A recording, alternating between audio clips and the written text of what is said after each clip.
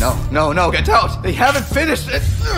Oh, Sleeper's finished, aren't you? We had a deal, Sleeper.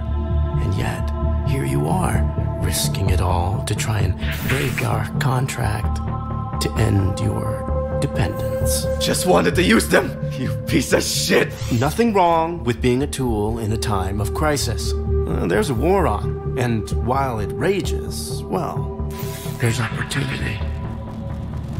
I thought you were an opportunity sleeper, desperate, on the run, a hard worker with certain needs.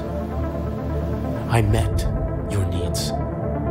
I gave you a crew, lent you a ship, even hooked you up with a contract or two. And, and yes, I took my share.